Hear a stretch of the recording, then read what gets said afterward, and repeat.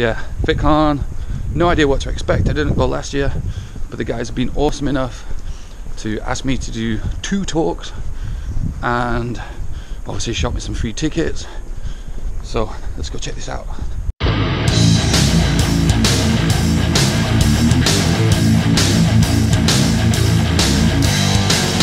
Man himself, Myles. Big man. You see the size of this guy? Surprisingly, bigger in real life, right? You'd all agree. yeah, turns out actually it's quite big. Turns out I've got a shit beard.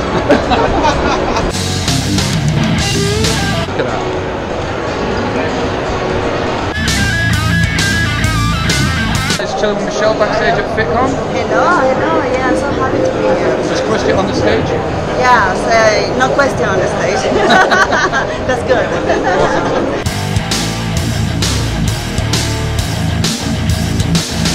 I want to be the world's strongest man. I want, I want that alpha male title, and I want it more than anyone. So that's why, that's why I me get out of bed every morning and fucking train hard and eat hard.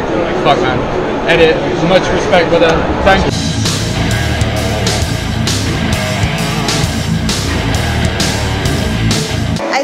Never is too late to starting. You know, if you have a goal, you need to push it. You need to hard work for you get you you body for the dream.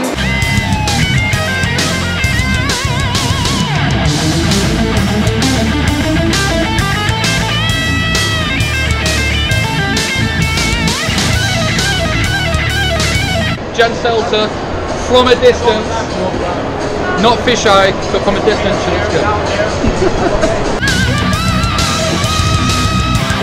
Hey, look, I'm 58, so one thing a lot of guys think when they get 30 and 40s, it's too late or they're too old. Bullshit.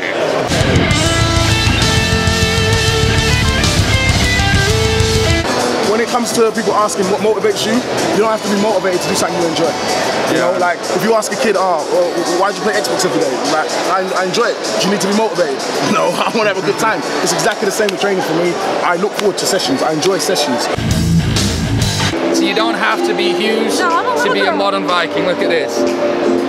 Like, you can't be depressed walking out of the gym with a pump. That's my opinion.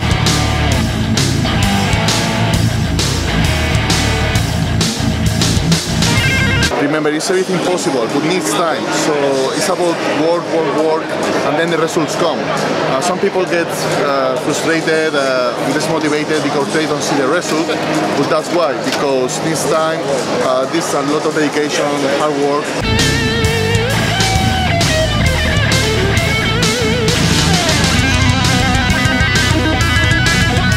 Loved it. Thought it was great.